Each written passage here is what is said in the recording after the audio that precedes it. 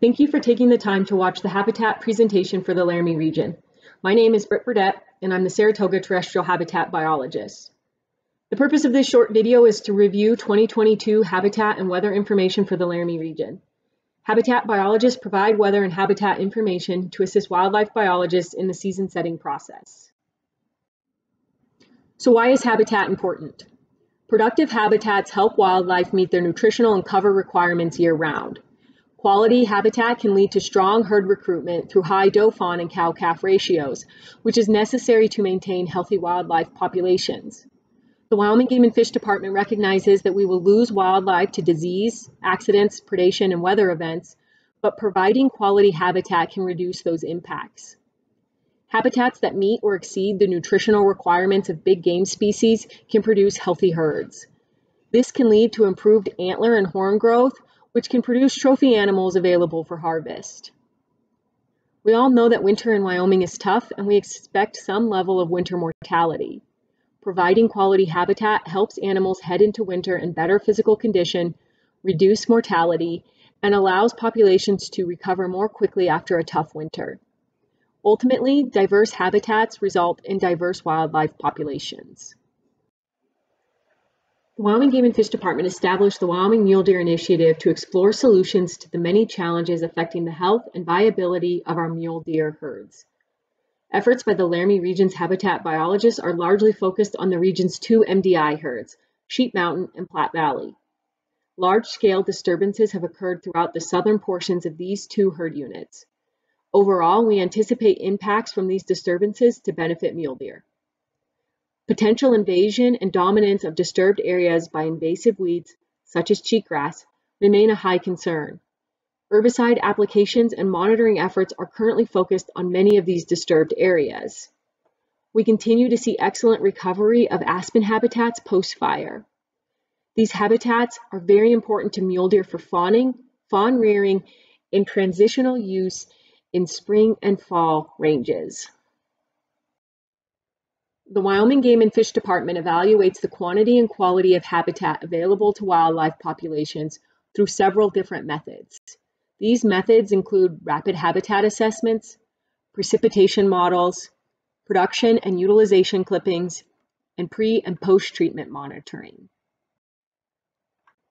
The first type of habitat monitoring we will talk about is rapid habitat assessments. These are commonly referred to as RHAs. RHAs are a department-developed methodology for evaluating habitats, specifically for mule deer, across all seasonal ranges. We can make some assumptions on the quality of habitat for other species as well, including elk, moose, and pronghorn. When completing RHAs, we look at numerous factors to determine if the habitat is supporting mule deer populations. If the habitat is not supporting the population, we evaluate which factors are negatively affecting the habitat and identify opportunities for improvement. The information collected aids the wildlife biologist in making informed decisions on whether the big game populations are currently in sync with available habitats, if big game populations are having negative impacts on available habitats, or if big game populations should be allowed to increase due to the quantity and quality of available habitat. Wyoming Game and Fish Department reviews population objectives every five years and uses RHA data in the review process. Laramie Region habitat biologists continue to complete RHAs in the two MDI herd units by assessing aspen, riparian, and rangeland habitats. In 2022, 16 RHAs were completed encompassing 360 acres in the Sheep Mountain Mule Deer herd unit. In the Platte Valley Mule Deer herd unit, 12 RHAs were completed encompassing 549 acres. Within both herd units, we documented high shrub mortality in some places, which is expected in areas affected by summer wildfires. In areas unaffected by recent wildfires, we continue to witness poor mixed mountain shrub health and vigor. Annual leader production is typically less in older shrubs compared to plants subjected to more recent positive disturbances. In addition to RHAs, Laramie Region habitat biologists also completed cheatgrass monitoring and willow surveys in 2022. Extensive time was spent monitoring cheatgrass in the Mullen Fire burn scar. Over 10,300 acres were treated on the western slopes of the Snowies in 2021. Last summer, the Forest Service, Wyoming Game and Fish Department, and other partners monitored herbicide efficacy one year post treatment on the western slopes, as well as completed pre treatment monitoring on the eastern slopes of the Snowies. Approximately 6,300 acres were treated on the eastern slopes of the Snowies in 2022. Monitoring will continue in 2023 to assess herbicide efficacy and identify potential retreatment areas. Here are just some before and after photos of the Mullen Fire cheatgrass treatments. The first picture is pre-treatment in 2021. You can see very little green herbaceous material and a lot of bare ground. All of the dull tan color is cheatgrass. In the second photo is one year post-treatment. Very little cheatgrass was observed in most of the treated areas. And as you can see in the picture, native perennial grasses are starting to recover. There's still a lot of bare ground, but we hope to see native grasses continue to recover and expand into those areas. Overall, plant species diversity was comparable pre and post treatment, with the exception of a few native annual forbs. We documented cheatgrass in areas where soil movement had occurred, and high density of cheatgrass was found within the no spray buffer around the North Platte River. 2022 was the second year of willow monitoring within the Snowy Range Moose Herd Unit. We evaluated willow community conditions using a quantitative measure of browse intensity called the Keigley Live Dead Index. We completed 16 surveys that primarily focused on three species of willow. We also opportunistically completed surveys for other willow species. The majority of surveys in 2022 were completed on planeleaf willow communities. Next, we will look at precipitation models, which are another tool we use to monitor habitat and weather in the Laramie region. Habitat biologists use PRISM models to evaluate the amount and timing of precipitation received throughout the water year. In this figure, which was created using data extracted from the PRISM models, we show the amount and timing of precipitation for the Sheep Mountain Mule Deer herd unit. On the x-axis, we have the year. On the y-axis, we have the amount of precipitation received in inches. The blue bars represent annual precipitation that occurred during the water year, which runs from October to September the following year. The red bars represent precipitation received from April to June or growing season precipitation. The green bars represent precipitation received from May to July or spring, summer, fall precipitation. Each temporal precipitation grouping has a corresponding 30-year average shown by the three dashed lines. Data extracted from the 2022 PRISM model showed us that not only annual precipitation across the Sheep Mountain Mule Deer herd unit was below average, but key periods for plant growth in low and high elevations were substantially below average. Growing season precipitation, or the red bars, was the lowest in 2022. The amount and timing of precipitation is important as it affects the productivity of the habitat. Precipitation that falls in April through July is strongly correlated with the overall production of herbaceous and woody vegetation.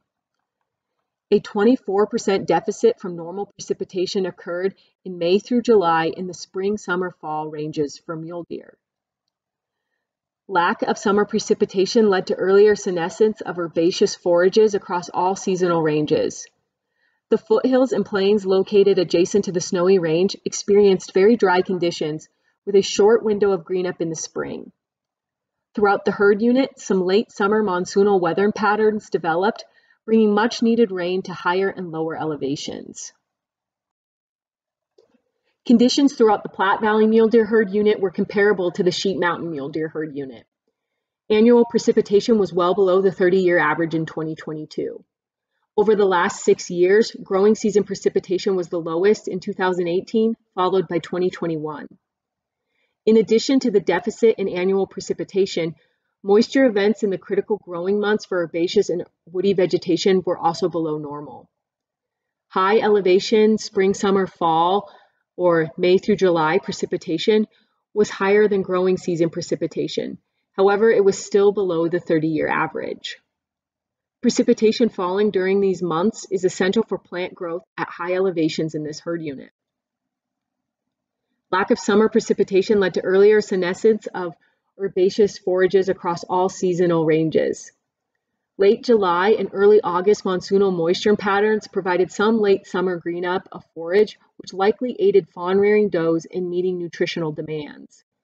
Lack of precipitation likely means less growth and recovery occurred in areas impacted by recent wildfires. Timing of precipitation in key growing months is critical to the growth of plant species important to wildlife. Some precipitation occurred early in the growing season, but quickly diminished in May and June. Lack of summer precipitation led to earlier senescence of grasses and forbs. This likely had some negative impacts on doe fawn and cow calf ratios. Some monsoonal precipitation fell in July and August that aided the regeneration of aspen and some key shrub species, but was too late to impact grass and forb production. Regional personnel witnessed the loss of important seasonal water sources, particularly for pronghorn in the Laramie Plains areas. This greatly impacted pronghorn distribution in some hunt areas and may have caused migrations much earlier in the year than normal. Overall, we had a relatively mild 2021-2022 winter. National Oceanic and Atmospheric Administration, or NOAA, weather stations from Torrington, Cheyenne, Laramie, and Rawlins reported a decline from average annual precipitation in 2022. Up next, I will very quickly touch on production and utilization clippings. The department uses production and utilization clippings to estimate the amount of forage available to wildlife and the amount of forage utilized by wildlife. We conduct production and utilization clippings during the late summer and late winter or early spring to determine the amount of key forages available for big game species and the percent of available forage used by wildlife. This is particularly important for key winter range areas, including the Pennock and Wick WHMAs in the Laramie region. Pre and post-treatment monitoring are critical components of habitat enhancement projects. Habitat biologists collect pre-treatment monitoring information before projects begin. After project implementation, we monitor things like annual production, utilization by wildlife, vegetative diversity, and presence or absence of invasive species. We can then use this information to determine the success of a treatment or to adapt treatment protocols if necessary. While I won't go into the actual monitoring, each of the habitat treatments presented on the next slides underwent some version of pre-treatment monitoring. Post-treatment monitoring will be completed in 2023. The department is actively treating wildlife habitats with several different tools. Throughout the region, Wyoming Game and Fish Department is implementing aerial herbicide applications, prescribed fire, brush mowing, and conifer cutting on big game seasonal ranges. The goal of these treatments is to enhance or restore important habitats, to provide critical components necessary to improve the health and vigor of big game species, which results in an opportunity for hunting and other wildlife-based recreation. In 2022, we focused a lot of effort on combating cheatgrass invasions. We treated 6,288 acres of cheatgrass within the Mullen Fire burn scar on the eastern slopes of the Snowy Range. Additionally, we treated 5,688 acres in the Sybille Canyon. Within the Platte Valley Mule Deer Herd Unit, we completed 9.2 miles of fence conversion with an important mule deer habitat. We completed 305 acres of juniper thinning on the Mule Creek public access area. The Platte Valley Habitat Partnership continued its large-scale conifer encroachment project in 2022 and completed 867 acres of juniper removal.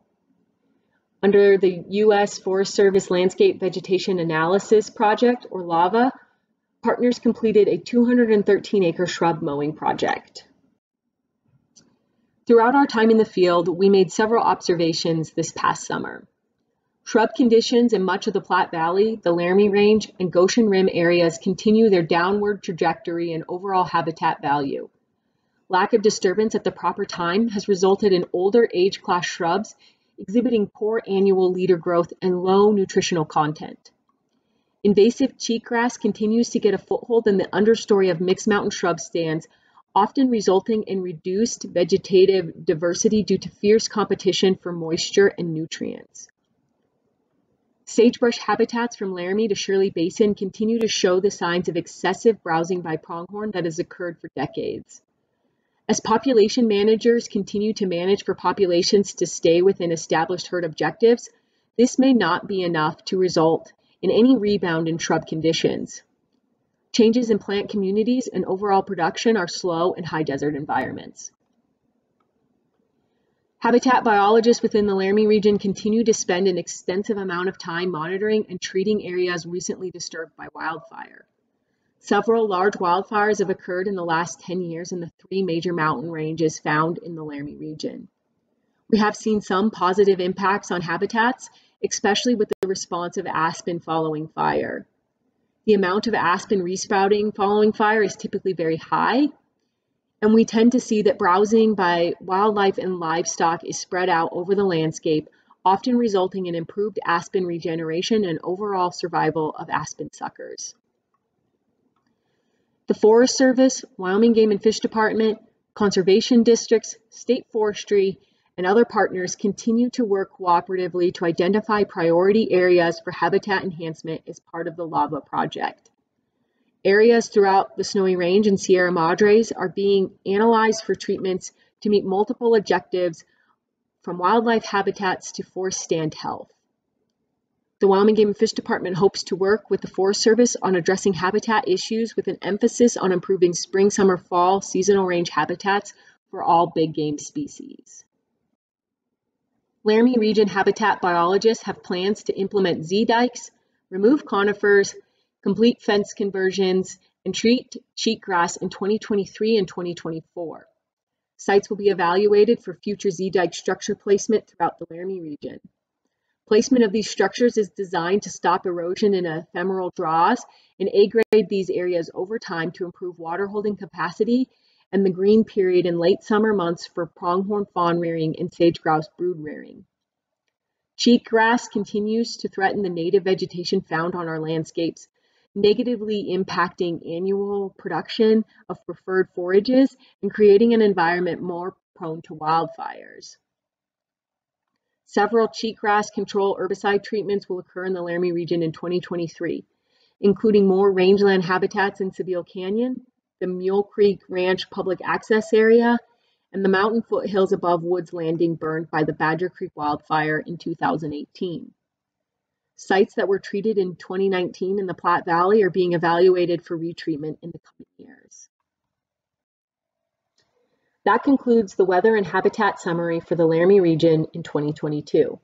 If you have any questions, please reach out to either of the habitat biologists in the Laramie region.